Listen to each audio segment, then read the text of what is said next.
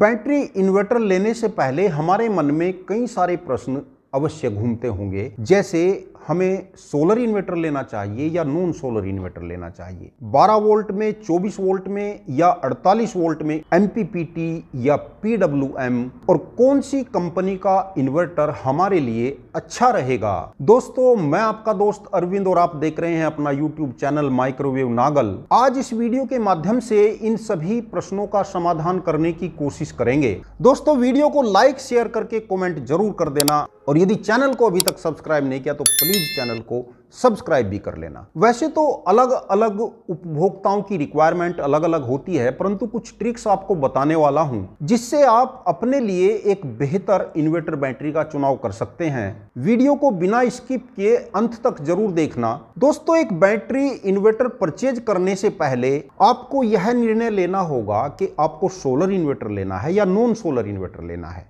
इसके लिए आपको देखना पड़ेगा कि यदि आपके यहाँ बिजली प्रॉपर है और आपको बिजली बिल का कोई टेंशन नहीं है, तब आप नॉन सोलर इन्वर्टर के साथ जा सकते हैं।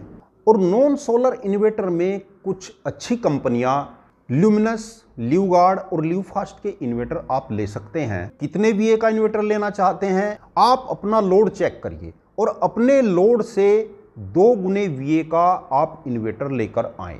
सपोज़ करें आपका लोड 300 वाट है। तो आप 600 वीए तक का इन्वर्टर ले सकते हैं, इससे कम न लें। यदि आपका लोड 500 वाट का है तो आप 1000 वीए का ही इन्वर्टर लेकर आए। और यदि आपका लोड 500 वाट से अधिक है, यानी आपको फ्रिज और वॉशिंग मशीन आदि लोड भी इन्वर्टर पर चलाने हैं, तब आपको दो बैटरी, यानी 24 वोल्ट का इन्वर्टर लेना पड़ेगा। और इसके लिए भी वही फार्मूला कि यदि आपका लोड 1000 वाट है, तब आप 2000 वी इन्वर्टर ले सकते हैं। और दोस्तों, यदि आपका लोड 12-1300 वाट से ऊपर है, तब आप 48 वोल्ट का इन्वर्टर ही परचेज करने की कोशिश करें।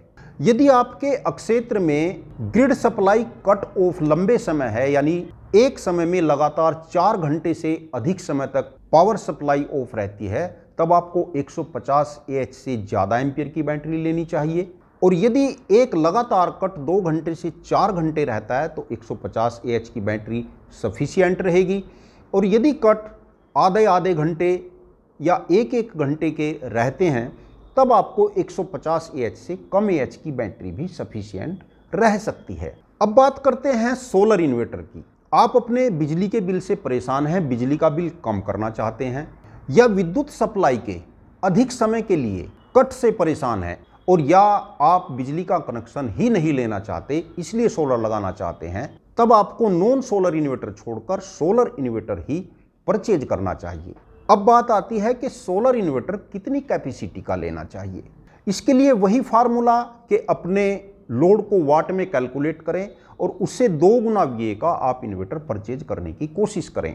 कौन सी कंपनी का लेना चाहिए? दोस्तों, यदि आप सोलर इन्वर्टर खरीद रहे हैं तो इस समय सोलर में जो ठीक ठाक कंपनियाँ चल रही हैं, आप लिवगार्ड का ले सकते हैं, स्मार्टन का ले सकते हैं, यूटीएल और एप्रो का सोलर इन्वर्टर आप ले सकते हैं। सोलर में आप पीडब्ल्यूएम टेक्नोलॉजी में ले सकते हैं, कोई दिक्कत नहीं, और यदि बजट की कोई परेशानी नहीं है तो आप एमपीपीटी सोलर इन्वर्टर ले लें तो ज़्यादा बेहतर रहेगा। और यदि आप अपने बिजली के बिल को कम से कम करना चाहते हैं तो किसी भी कंपनी के एमपीपीटी सोलर इन्वर्टर में ग्रिड एनेबल और ग्रिड डिसेबल का फ़ंक्शन अवश्य देख लें।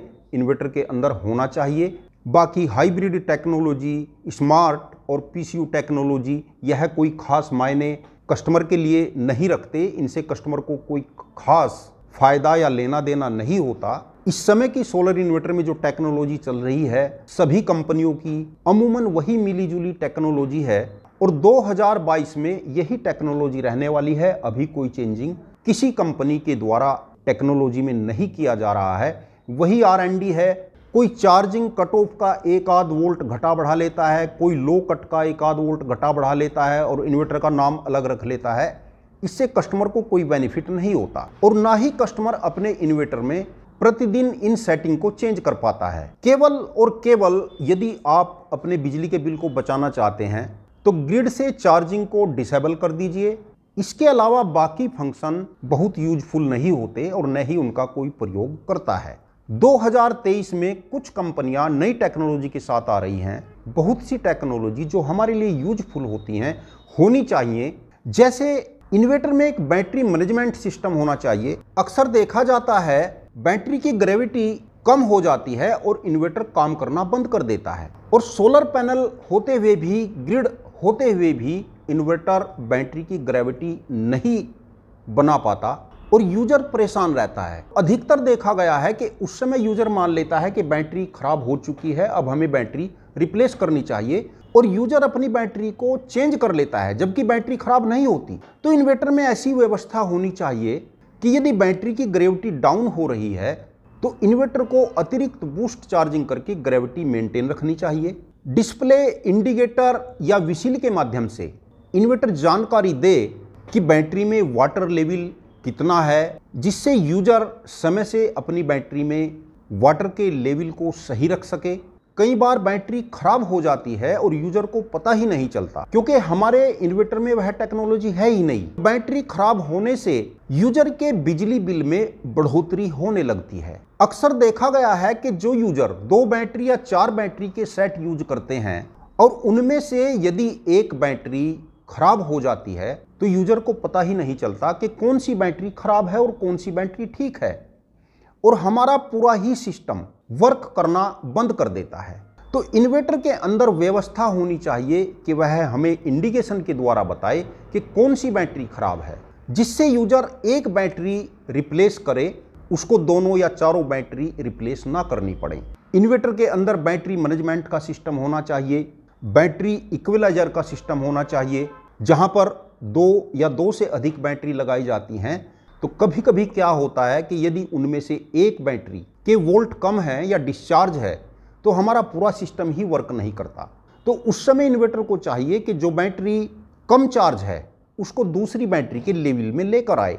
और 90 परसेंट केसेज में यह देखा गया है कि जहाँ पर दो बैटरी लगी हुई हैं, उनमें से एक बैटरी कम चार्ज रहती है और एक बैटरी अधिक चार्ज रहती है। क्योंकि हमारे इन्वर्टर के अंदर बैटरी इक्विलाइजर का फ़ंक्शन ही नहीं है कि दो बैटरी, चार बैटरी, आठ या दस बैटरी जितनी भी सीरीज़ में लगी हुई हैं, यदि उनमें से कोई बैटरी कम चार्ज हो रही है तो इन्वर्टर में एक फ़ंक्शन होना चाहिए कि वह सभी बैटरियों को एक लेवल में रखे, जिसको बैटरी इक्वलाइजर या बैटरी बैलेंसर या बैटरी प्रोटेक्शन फ़ंक्शन कहा जाता है, जिसके होने से हमारी बैटरी बैंक का बैकअप बढ़ेगा, सोलर पैनल की इफिशियंसी भी बढ़ेगी।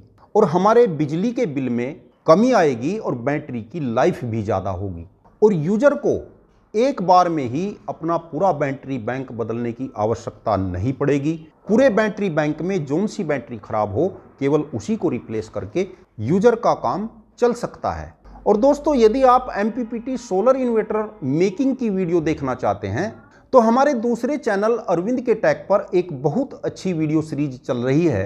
कुछ वीडियो डाली जा चुकी हैं और कुछ डाली जा रही हैं। चैनल का लिंक डिस्क्रिप्शन में दे रहा हूँ, आप चैनल पर जाकर देख सकते हैं। और दोस्तों, वीडियो यदि अच्छा लगा हो तो वीडियो को लाइक करना, कमेंट करना, और यदि चैनल को अभी तक सब्सक्राइब नहीं किया तो प्लीज़ चैनल को सब्सक्राइब करके बेल आइकन का बटन दबा लेना। वीडियो को अंत तक देखने के लिए आपका बहुत बहुत धन्यवाद। नमस्कार दोस्तों।